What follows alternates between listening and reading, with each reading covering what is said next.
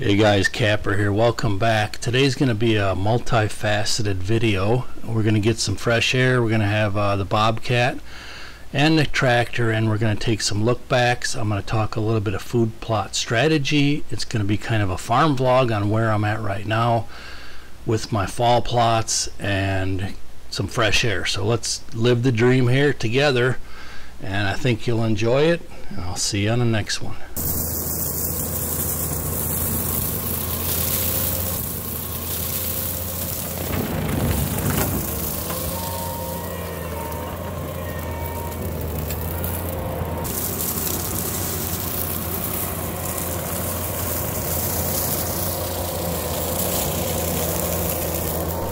Okay, so this particular plot that you're looking at to the left of this new deer tower is brand new last year. This is the area that I expanded this plot. This was all woods here. This was all thick woods and we used this uh, blue diamond to test it out and cut some of the bigger trees and I also used the excavator in there um, to pull some of the bigger trees as well.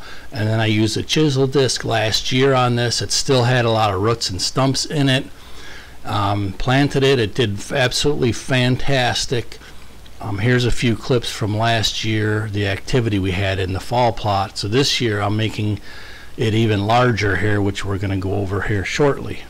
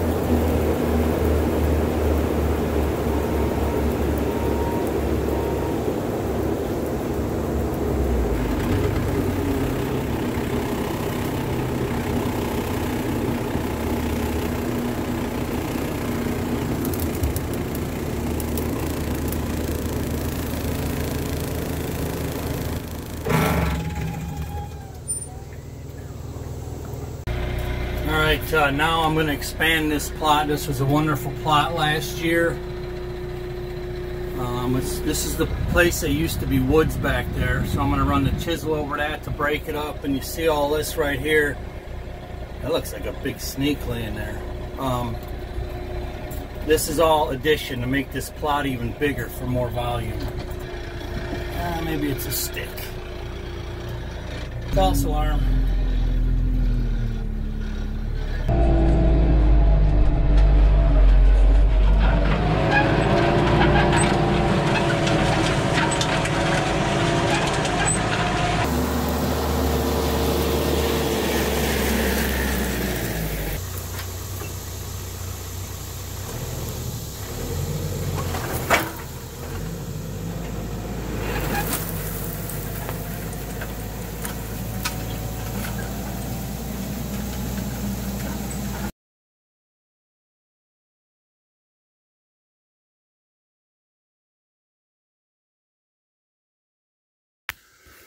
Right now I'm working on the Sportsman, getting it ready for work. I got the sprayer and I'm uh, mounting the seeder so I can get going on plots here pretty quick. This should be a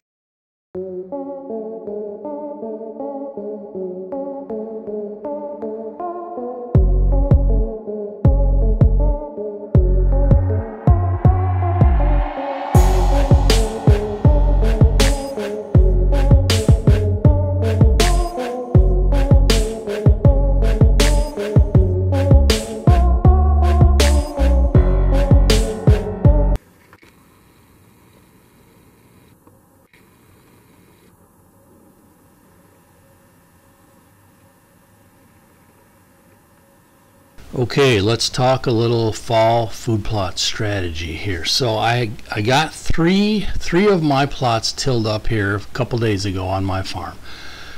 They're ready to be planted, and I was gonna plant them, and then all of a sudden we got rain two nights ago.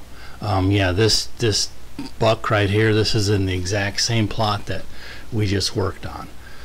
Um, so if you work hard enough, and if you stay off the uh, trigger finger long enough, eventually you can do some really good things on your property.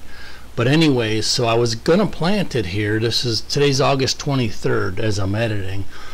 And now all of a sudden look at the forecast. We have 10 days of super hot like uh, heat index warnings and the, the closest rain prediction is like next weekend like eight you know eight or nine days away so i'm to hold off I do have to spray a couple. I'm going to hold off and I'm going to wait until this this real hot spell passes because I've learned in the past, man, if you plant, even though we just got rain two days ago, it's going to come up.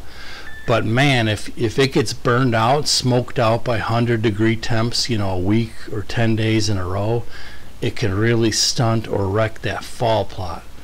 So now I'm going to hold off for a few days and, and kind of try to time the weather and see what happens. So let's finish this video. I appreciate you guys being on board and good luck on all your land management projects and food plots.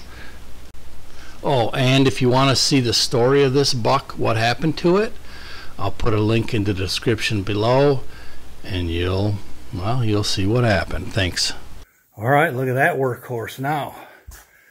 Oh, I soaked another shirt. It's so hot out, but I got the battery. I got it all hardwired to the battery under there. Cut a little hole for the path to come out for the wire. So it's ready to roll. now it's time to go in the air conditioning. All right, now I'm on the second pass. Uh, this will be uh, ready to plant. Let me show you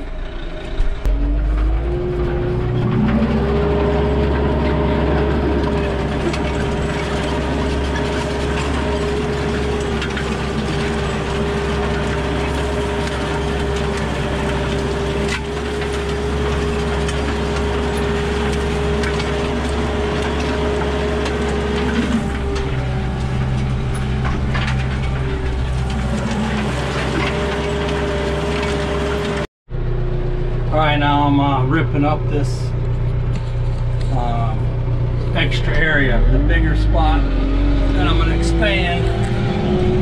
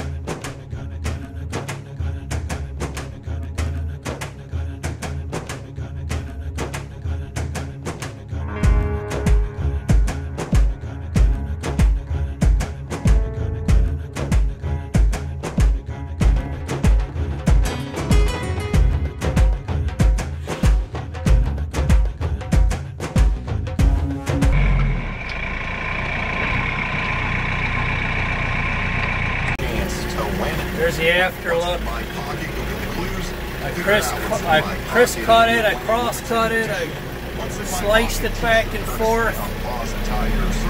A little bit clumpy, but it's ready to plant. That chaff will, will be nice to hold moisture in there.